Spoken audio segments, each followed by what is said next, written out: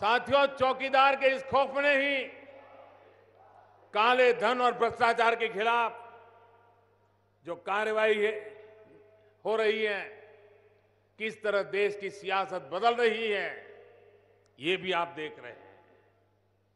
इन दिनों भारतीय राजनीतिक इतिहास के एक असफल प्रयोग को महागठबंधन के नाम से प्रचारित करने का अभियान चल रहा है। जिन दलों का जन्म कांग्रेस और कांग्रेस की कार्य संस्कृति के विरोध में हुआ था। जो उस जमाने में कांग्रेस के तौर तरीकों को बर्दाश्त नहीं कर पाए, वही विरोधी दल आज एकजुट हो रहे हैं। सोचिए, उस जमाने में जब कांग्रेस इतनी गर्त में भी नहीं थी तब उन्होंने कांग्रेस को छोड़ा और कांग्रेस के सामने खड़े हुए थे। अब आज जब कांग्रेस रसाताल में है, भ्रष्टाचार में डूबी हुई है, उसके बड़े बड़े नेता जमानत पर है तो ये कांग्रेस विरोध में जन्मे हुए दल कांग्रेस के सामने जाकर सरेंडर कर रहे हैं। जिस मतदाता ने आपको इसलिए ऊर्जा दी कि आप कांग्रेस का एक विकल्प बनेंगे। आज उसी मतदाता को धोखा देने का प्रयास किया जा रहा है। और अभी कुछ दिन पहले इस गठबंधन का ट्रेलर भी बाहर आया है। आपने देखा होगा, तेलंगाना में गठबंधन का पराजय हो गया, बुरी तरह पराजय हो गया। और कर्नाटक में जहाँ गठबंधन की पहली सरकार बनी है, वहाँ के मुख्यमंत्री क्या कह रहे हैं? कर्नाटक के मुख्यमंत्री, जो गठबंधन की सरकार के मुख्यमंत्री हैं, अभी तो कुछ ही महीने हुए हैं। और ऐसे परेशान है ऐसे परेशान है, वो कह रहे हैं कि इन्हें, उन्हें मुख्यमंत्री के बजाय एक क्लर्क मात्र बना करके रख दिया गया है। राजस्थान, मध्य प्रदेश में। अब दो टूक इस बारे में बात हो रही है कि सरकार चलानी है। तो पहले ये केस वापस लो, डिगना केस वापस लो, फलाना काम करो, तब सरकार चला पाओगे। ये चालू हो गया है। अभी तो ये ट्रेलर है। राजनीति पर की जाती है। भाइयों, बहनों राजनीति विचार पर की जाती है। राजनीतिक गठबंधन विजन पर बनते हैं, बिगड़ते हैं। लेकिन ये पहला अवसर है जब सिर्फ़ एक व्यक्ति के विरोध में सब एकजुट हो रहे हैं। साथियों, ये सारे मिलकर इनका इरादा क्या है? ये बात हमको समझनी है और घर घर जाके समझानी है। ये सारे मिलकर अब देश में एक मजबूर सरकार बनाने में जुट गए हैं। वो नहीं चाहते कि देश में मज़बूत सरकार बने और उनकी दुकान फिर बंद हो जाए।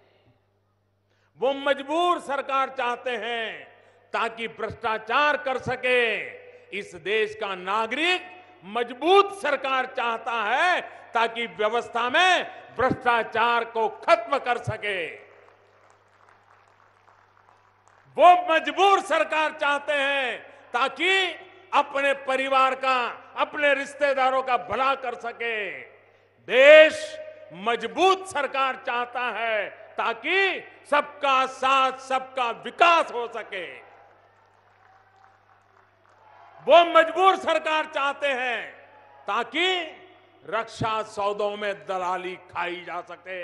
हिंदुस्तान मज़बूत सरकार चाहता है ताकि देश की सेना की हर ज़रूरत को पूरा कर सके। वो मजबूर सरकार चाहते हैं ताकि किसानों की कर्ज माफ़ी में भी घोटाला कर सके। हम मज़बूत सरकार चाहते हैं ताकि देश के किसानों को सशक्त कर सके। वो मजबूर सरकार चाहते हैं ताकि यूरिया घोटाला हो सके, चीनी घोटाला हो सके। देश मज़बूत सरकार चाहता है ताकि किसानों को समय पर खाद मिले, अपनी फ़सलों का उचित दाम मिले। वो मजबूर सरकार चाहते हैं ताकि फिर कॉमनवेल्थ जैसे घोटाले हो सके। भारत मज़बूत सरकार चाहता है ताकि अपने बच्चों को ईमानदारी और पारदर्शिता के साथ खेल की दुनिया में आगे बढ़ा सके, उन्हें आधुनिक सुविधा दे सके। वो मजबूर सरकार चाहते हैं ताकि 2G जैसे घोटाले फिर हो सके। देश मज़बूत सरकार चाहती है ताकि देश का हर व्यक्ति डिजिटल इंडिया मिशन का लाभ उठा सके। वो मजबूर सरकार चाहते हैं ताकि अंतरिक्ष कंपनियों में भी घोटाला कर सके। हम मज़बूत सरकार चाहते हैं ताकि देश गगनयान की सफलता का गौरव गान करे। वो मजबूर सरकार चाहते हैं ताकि खदानों की नीलामी में करोड़ों की लूट कर सके। हम मज़बूत सरकार चाहते हैं ताकि खदानों से जो कमाई हो रही है, उसका लाभ अपने आदिवासी भाई बहनों को मिले। वो मजबूर सरकार चाहते हैं ताकि स्वास्थ्य सेवा में घोटाला कर सके, एंबुलेंस की खरीदी में घोटाला कर सके। हम मज़बूत सरकार चाहते हैं ताकि आयुष्मान भारत योजना के तहत 10 करोड़ परिवारों को मुफ़्त इलाज दे सके।